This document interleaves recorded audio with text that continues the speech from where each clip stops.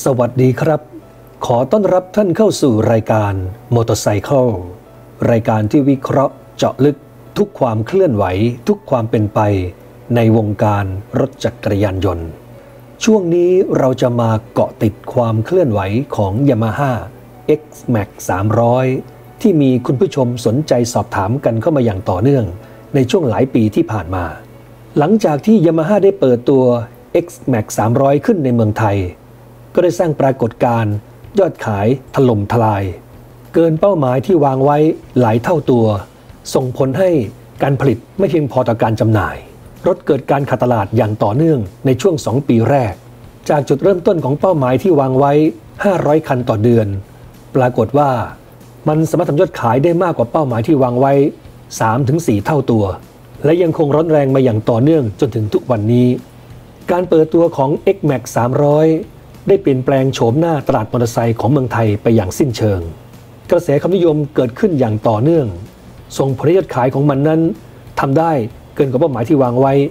ไม่เชื่อก็ต้องเชื่อครับว่า ยอดขายของ X Max 300 ในเมืองไทยนั้น สูงสุดอันดับหนึ่งของโลก แม้แต่ตลาดหลักในยุโรปก็ยังขายได้น้อยกว่าเมืองไทย เช่น อิตาลี ฝรั่งเศส ที่เป็นตลาดใหญ่ของ automatic ก็ยังมียอดขายที่น้อยกว่าเมืองไทยของเรา แม้แต่ญี่ปุ่นเองก็ตามนะครับก็ยังมียอดขาย X Max 250 X Max 300 ที่น้อยกว่าเมืองไทย รวมถึงอินโดนีเซียด้วยครับ ที่หลายคนอาจจะคาดไม่ถึงเพราะว่าอินโดนีเซียนั้นมียอดขายมอเตอร์ไซค์รวมทั้งสิ้นต่อปีมากกว่า 6 ล้านคัน ซึ่งเป็นตัวเลขที่สูงมากกว่าเมืองไทยถึง 4 เท่าตัว เพราะว่าประชากรของเขานั้นมีมากกว่าเมืองไทย 4 เท่าตัวเช่นกัน แต่ว่ายอดขายของ Yamaha X-Max 250 ที่อินโดนีเซีย กลับมีตัวเลขการขายที่น้อยกว่า X-Max 300 ในเมืองไทยของเรา นั่นก็เป็นเพราะว่ากำลังซื้อของคนอินโดนีเซียนั้น ซื้อในกลุ่มของมอเตอร์ไซค์ขนาด 110 ถึง 150 ซีซี เป็นส่วนใหญ่ ส่วนรุ่นที่มีราคาเกินกว่า 1 0 0 0 0แบาทขึ้นมาแล้ว ยอดขายทำได้ไม่มากนัก ขณะที่ X Max 300 ในเมืองไทยวางราคาอยู่ที่ 171,900 บาท รุ่นล้อแม็กสีดำนะครับ ถ้าเป็นล้อแม็กสีทองราคาอยู่ที่ 172,400 บาท ขณะที่ X Max 250 ในอินโดนีเซีย วางราคาอยู่ที่ประมาณ 131,000 บาท ถูกกว่าเมืองไทยประมาณ 40,000 บาท แต่ว่ายอดขายของมันนั้นกลับสู้เมืองไทยไม่ได้ สรุปตัวเลขการขายของมอเตอร์ไซค์เมืองไทยในปี 2563 ที่ผ่านมา ในกลุ่มของมอเตอร์ไซค์ขนาด 300 ถึง 400 ซีซี ก็ปรากฏว่า Yamaha X Max 300 ทำยอดขายสูงสุดอันดับที่ 1 ด้วยตัวเลขที่สูงมากกว่า 20,000 คันในปีที่แล้ว นับเป็นสถิติใหม่ล่าสุดของยอดขายมอเตอร์ไซค์ขนาด 300 ถึง 400 ซีซีในเมืองไทย เหนือกว่ารถสปอร์ตทุกรุ่นในขนาด 250 300 หรือ 400 ซีซีก็ตาม จุดเด่นของ X Max 300 ก็คือ เรื่องของรูปโฉมดีไซน์ที่มีความเป็น sport automatic อย่างแท้จริง ให้ความก้าวร้าวดุดัน โดนใจวัยรุ่น ไฟหน้า LED 5 ดวง ไฟต่ำข้างละ 2 ดวง รวมเป็น 4 ดวง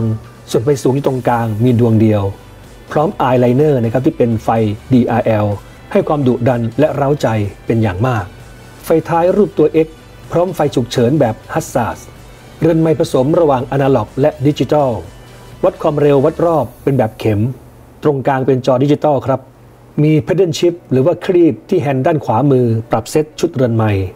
เครื่องยนต์ Blue Core Technology Single Overhead Camshaft 4 วาล์วระบายความร้อนด้วยน้ำ ปริมาตรจริงอยู่ที่ 292 ซีซี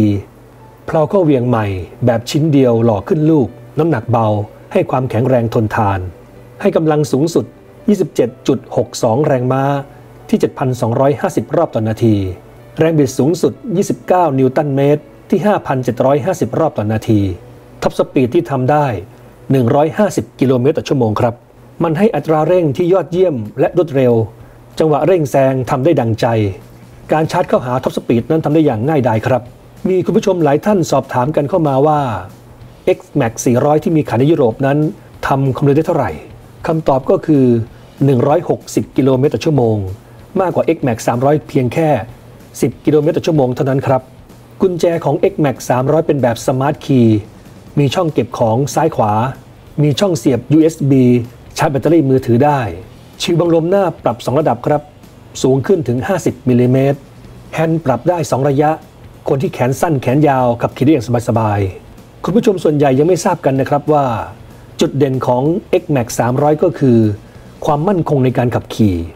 มันมีแผงคอบนแผงคอล่าง ยึดจับกับแกนโช้คอัพหน้า telescopic ขนาด 33มิลลิเมตรถ้าเป็นรุ่นอื่นจะมีแผงคอล่างเพียงตัวเดียว ในการจับแกนโช้คอัพทำให้ความมั่นคงในการขับขี่สู้ไม่ได้ เวลาเข้าโค้ง เจอหลุมเจอเนินนะครับในขณะที่เราเข้าโค้งนั้น เห็นชัดเจนถึงความมั่นคงในการขับขี่ที่เหนือกว่า กล่องเก็บของใต้เบาะนั่งมีขนาดความจุถึง 44.9 ลิตร เก็บหมวกน็อกเต็มใบได้ถึง 2 ใบด้วยกัน เบาะนั่งสูง 795มิลลิเมตรก็ไม่สูงเกินไปคนไทยขี่สบายๆครับ น้ำหนักโดยรวมอยู่ที่ 179 กิโลกรัมถังน้ำมันจุ 13 ลิตร ดิสเบรกหน้าแบบ 2 ลูกสูบ พร้อม ABS และดิสเบรกหลัง 1 ลูกสูบ พร้อม ABS เช่นกัน จุดที่ผมชื่นชอบเป็นการส่วนตัวก็คือเรื่องของ traction control ที่มีเซ็นเซอร์ไวมาก ถ้าเจอพื้นลื่นล้อหลังหมุนเร็วกว่าล้อหน้าเพียงนิดเดียว เครื่องยนต์ตัดการทำงานทันที ให้ความสึกที่ไวมากครับ ช่วยเพิ่มความปลอดภัยในการขับขี่ได้เป็นอย่างมาก ที่สำคัญก็คือว่าเราสามารถเปิดปิด traction control ได้ด้วย โดยถ้าปิดอยู่นั้นจะมีสัญญาณกระพริบอยู่ที่หน้าจอเรือนใหม่ ยางหน้าขนาด 120ทับ70 ขอบ 15 นิ้ว ยางหลัง 140ทับ70 ขอบ 14 นิ้ว ให้ประสิทธิภาพในการกาะถนนได้เป็นอย่างดีครับ การขับขี่ในเขตเมืองนั้นให้ความคล่องตัวเป็นอย่างยิ่ง ดูเหมือนรถจะมีความอ้วนใหญ่ แต่ว่าวิ่งจริงๆแล้วนะครับให้ความคล่องตัวเป็นอย่างมาก ตำแหน่งท่านั่งแบบสบายๆนะครับ ใครที่ขี่รถมอเตอร์ไซค์ออโตเมติขนาดใหญ่แบบนี้ บอกเลยครับว่า ถึงที่หมายแล้วยังคงชิลๆสบายๆ ยิ่งเวลาออกทริปทางไกลนั้น ระยะทางไกลๆ 100 กิโลเมตร 200 กิโลเมตร หรือแม้แต่ 3 400 กิโลเมตรก็ตาม เมื่อถึงที่หมายแล้วนะครับ ใครที่ขี่ X-Max 300 ลงมาเดินสบายๆครับ จึงไม่น่าแปลกใจนะครับว่าขณะนี้ยอดขายของมอเตอร์ไซค์ automatic ขนาดใหญ่ หรือ sport automatic อย่าง X-Max 300 จะมีสถิติการขายที่สูงมากอันดับหนึ่งของเมืองไทย และอันดับหนึ่งของโลกในขณะนี้ และในขณะที่ยอดขายของ X-Max 300 เติบโตอย่างต่อเนื่องในช่วง 3 ปีที่ผ่านมา รถสปอร์ตขนาด 300 ถึง 400 ซีซีกลับมีตัวเลขการขายลดลงอย่างต่อเนื่องเช่นกัน ดังนั้นจึงสรุปได้ว่า ทิศทางตลาดมอเตอร์ไซค์ของเมืองไทยในเวลานี้ X-Max 300 ได้เข้ามาเปลี่ยนแปลงโฉมหน้าไปอย่างสิ้นเชิง มีคุณผู้ชมหลายท่านสอบถามกันเข้ามาครับว่า จะมีการปรับโฉม X-Max 300 ในเมืองไทย ปีนี้หรือไม่ จากการตรวจสอบข้อมูลเชิงลึกแล้ว ยังไม่มีกระแสข่าวนะครับว่าจะมีการปรับโฉม X-Max 300 ในปีนี้แต่อย่างใด และนี่ก็คือความสำเร็จอย่างแท้จริงของ Yamaha กับการเปิดตลาดรถมอเตอร์ไซค์ sport automatic ขนาดใหญ่ 300ซีซีที่ได้สร้างปรากฏการณ์ยอดขาย ยอดจับจองถล่มทลายมาอย่างต่อเนื่องในช่วง 3 ปีที่ผ่านมา เรื่องราวของ X-Max 300 ต่อไปจะเป็นอย่างไร เราจะมาเกาะติดความเคลื่อนไหวกันต่อไปในโอกาสหน้าครับ